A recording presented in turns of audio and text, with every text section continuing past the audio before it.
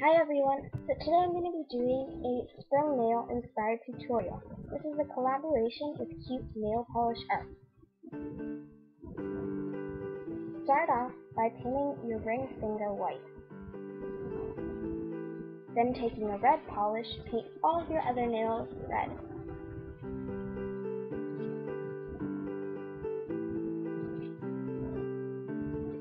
Now going on your ring finger, take a green polish and make a little stem with three branches.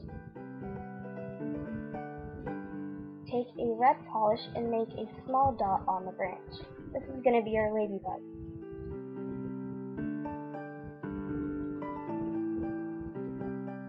With a black polish, make a little dot to act as the head of the ladybug can go on the body of the ladybug and create little dots on it with the black polish.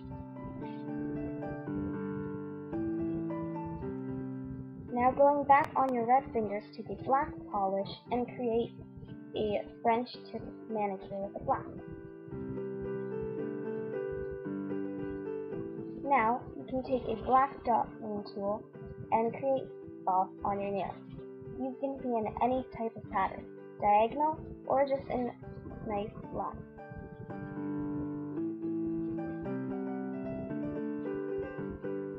After that, take a glitter polish, and on the black tips, put a little bit of it on to add a little bit of a sparkle. And after that, you're complete. Thanks for watching.